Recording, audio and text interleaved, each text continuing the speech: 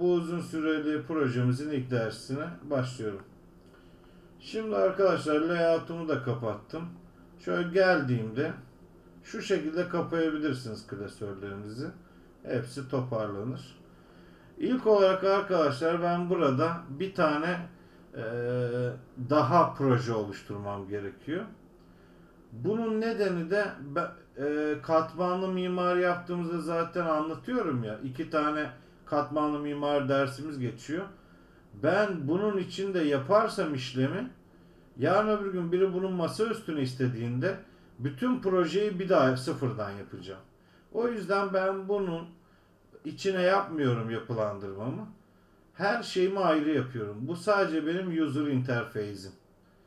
Benim e, katmanlarım, yapım farklı yerde olacak. Solution'a sağ tıklayarak Add New Project diyorsunuz. Ve burada .NET Core kısmında Class Library .NET Core seçiyorum. Bunun adına da şu şekilde digital.data diyerek benim bu veri tabanımla alakalı olacağını söylüyorum. Digital.data. OK dediğimde bunu ekleyecektir. Evet. Şu klası kapatıyorsunuz. Ee, buraya attı onu. Şöyle altı alabiliyor muyum onu bir deneyelim. Alamazsanız da çok bir problem yok. Tamam yukarıda kalsın. Benim user interface'imle alakalı işlemlerim burada. E, data ile alakalı işlemlerim de burada olacak arkadaşlar. Şimdi burada e, neler yapacağız? Adım adım başlıyoruz. Şimdi arkadaşlar ilk olarak şu datayı açıp DB Context'in benim veri tabanı trafik polisindi değil mi? Açtığımda zaten göreceğim. Bütün veri tabanı işlemlerim, tablolarımın, veri tabanı nesnelerim bu barındırıyordu.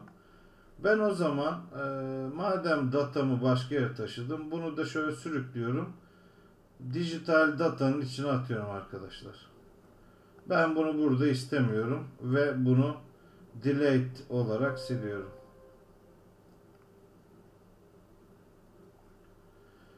Daha sonra migration'larım var arkadaşlar. E, migration'larımla da e, işlemim yok. Onu da buradan e, hatta şu şekilde data klasörünü komple arkadaşlar delete diyerek buradan silebilirsiniz. Evet. Ee, ne dedik biz? Biz data ile ilgili bütün işlemlerimizi burada yapacağız. İlk olarak application db context sınıfımızı datanın içine aldık. Daha sonra modelle ilgili işlemlerim de olacak benim. Mesela application user var burada. En çok kullanacağım. Kullanıcı yönetim forumda çok önemli değil mi arkadaşlar? İşte orada foruma bir soru soracaksınız, cevap vereceksiniz.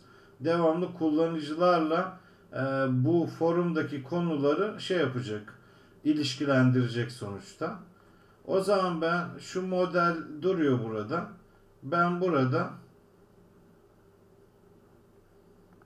bir saniye Identity ve proje için aynı DB context kullanılmış mı? Şimdi bakalım. Ee, sadece datada application DB context var. Burada arkadaşlar DB context'i veriyor. Ya yani şunu yapıyor. DB context'te direkt bunu veriyor arkadaşlar. Ee, tablolarını da buraya yazabiliyorsun. Onun için erken şu an zaten. Ee, onu şu an konuşmak konuşmayı düşünmüyorum. Şimdi arkadaşlar adım adım gidelim o yüzden ekip halinde. Şimdi bizim derdimiz biz bir data e, projesi açtık. Biz datayı Class Library'de core katmanında nasıl yapacağız ona bakıyoruz. Bunu atıyorum ve modele baktığımda işte VM modellerimiz de var burada. İşte manage VM modellerimiz. Application User da burada. Ben o zaman buraya sağ tıklayarak et diyerek bir klasör oluşturuyorum. Benim veri tabanı modellerim burada. Şunu ayırt edelim arkadaşlar. İki tip model vardır. Biri veri tabanı modelleridir, nesneleridir. Biri de görünümle alakalı modellerdir. Bir tane örnek inceleyelim. Account VM model demiş. Görünüm modelleri var burada. Mesela Parolamı unuttuğum VIA model diyor. Neler yazıyor? İşte bir tane e-maili var. E-mail adresi. Ve bunun girilmesinin zorunlu olduğunu söylüyor. Burada bir Vue model oluşturmuş ve kullanıyor bunu yeri geldiğinde. Ama biz şu anda data ile alakalı kısmı yapacağız. Ee, modelsimizi oluşturduk arkadaşlar. Bu dersimizde modellerimizi oluşturacağız arkadaşlar. Onu söyleyeyim. Ee, buraya geldiğimde application user'ı ne yaptık biz? Ee, model klasörünü ekleyeceğiz. Ee, şuradan geliyorum application user'ı yine sürüklüyorum. Buraya bırakıyorum. Evet application user burada. Ben bu application user'ı silmek istiyorum ve buradan uçurdum. Evet buraya modele ilk benim klasım olarak application user geliyor arkadaşlar şu şekilde. Şimdi onu açtığımda bir hata alıyorum. İşte diyor ki identity user tıkladığımda benim hoşuma gitmeyecek seçenekler veriyor. Buraya baktığımda da işte identity diyor. Ben ne yapabilirim burada? Çözemiyorum şu an. Kapatıyorum. Bir de arkadaşlar e, buraya taşıdığımız DB Context'e bakıyorum. Burada bir hata var mı? Evet epey bir hata vermiş. O zaman arkadaşlar şunun altını çiziyor gördüğünüz gibi. Biz bazı e, e, şöyle söyleyeyim bazı paketleri kurmamız lazım projemize.